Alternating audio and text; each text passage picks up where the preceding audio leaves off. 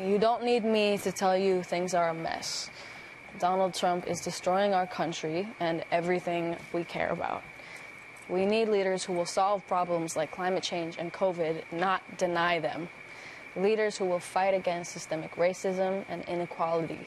And that starts by voting for someone who understands how much is at stake, someone who's building a team that shares our values. It starts with voting against Donald Trump and for Joe Biden. Silence is not an option, and we cannot sit this one out. We all have to vote like our lives and the world depend on it because they do. The only way to be certain of the future is to make it ourselves. Please register, please vote. I can't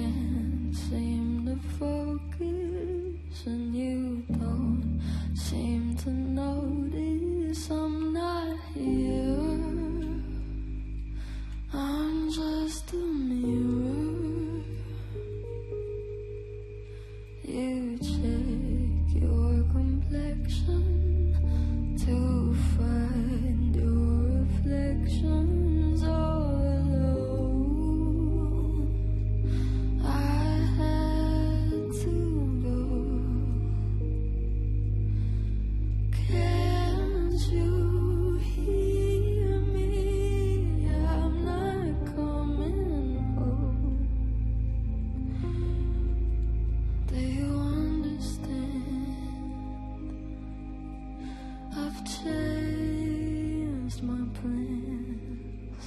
Cause I,